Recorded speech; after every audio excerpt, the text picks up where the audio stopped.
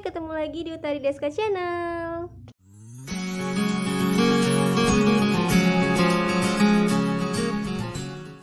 Di video kali ini aku akan mencoba untuk aku ngecoba untuk membuat tips and trick tutorial hijab untuk wajah yang bulat. Sebenarnya aku tuh takut banget untuk nge-share ini sama kalian, takut salah karena aku tuh sama sekali nggak ngerti dan gak paham. Dan gak paham. Uh, tapi akhir-akhir ini belakangan-belakangan ini aku nggak coba untuk searching-searching cari referensi-referensi. Dan akhirnya aku pun mengerti bagaimana tips and tricks untuk ngakalin wajah-wajah yang bulat. A few moments later. Sesuai dengan requestan kalian nih guys. Aku ngecoba tapi tapi kalau ada kesalahan nantinya aku mohon maaf karena aku masih pemula. Ya maaf ya. Mohon maaf banget. Eh, nggak usah banyak ngomong kali ya.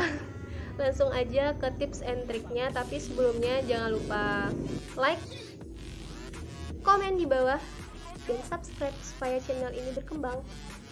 Oke langsung aja mohon maaf ya guys sebelumnya nanti kalau kalian dengar di video aku ada suara motor atau mobil itu karena rumah aku tuh dekatnya jalan jalannya itu akses menuju ke keluar yaitu akses menuju akses untuk jalan lintas Sumatera sama Bengkulu. Jadi di jalan ini tuh blok ini tuh untuk ke depan ke jalan raya sana. Jadi kalau kalian dengar deng- nanti dengar suara motor mobil atau apa pun itu dimaklumin ya. Ini adalah salah, ini adalah salah satu alasan aku karena kenapa aku nggak mau ngomong pas lagi video kayak gitu ada bunyi-bunyi yang nggak lucu gitu kan lagi serius-serius gitu kan eh tiba-tiba ada gitu kan Two hours later.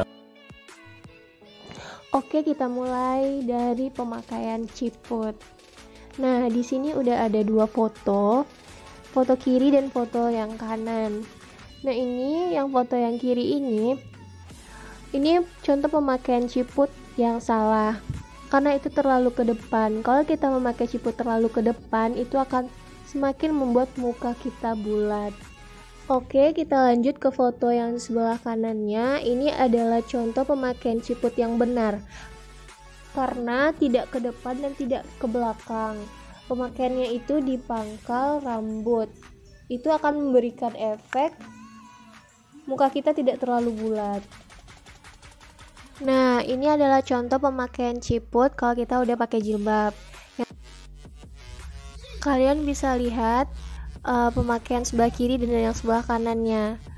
Dan kalian bisa menilai mana look yang enak dilihat dan mana yang enggak. Oke, selanjutnya kalau kita udah memakai jilbab dan pemakaian ciput kita udah benar, jangan terlalu memperlihatkan ciput dan memakai jilbab terlalu ke belakang, tapi kita cukup memperlihatkan ciput kita sedikit saja untuk mempermanis. Oke lanjut. Aku mau ngasih tahu kalau tipe hijabers itu ada dua. Yang pertama itu pas saat mentulin jilbab ada yang ngelipat hijab itu ada yang enggak.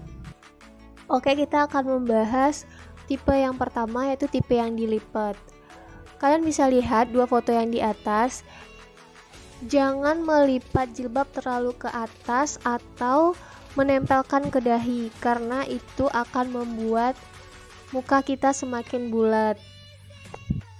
Nah, tips dan triknya kalian bisa lihat di foto yang di bawah.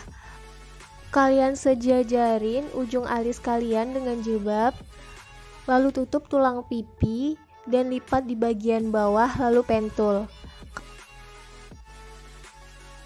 Oke kita lanjut ke tipe yang kedua yaitu tipe yang gak dilipat Kalian bisa lihat di foto yang kiri sebelah atasnya. Itu kalau kalian menempelkan jilbab kalian ke dahi Itu akan terlihat jelas kalian mengekspos kebulatan muka kalian. Untuk tips and triknya sama sama yang tadi uh, Kita sejajarin ujung alis kita sama jilbab Tutup tulang pipi dan langsung pentul. Kalau kalian memakai jilbab seperti tadi, itu akan memberikan efek lonjong atau oval pada wajah kalian. Dan wajah kalian yang bulat itu nggak terlihat bulat-bulat banget.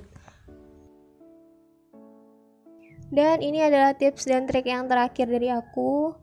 Kalian kalau pakai pentul jangan terlalu erat gitu guys. Karena itu akan memadatkan muka kalian yang bulat.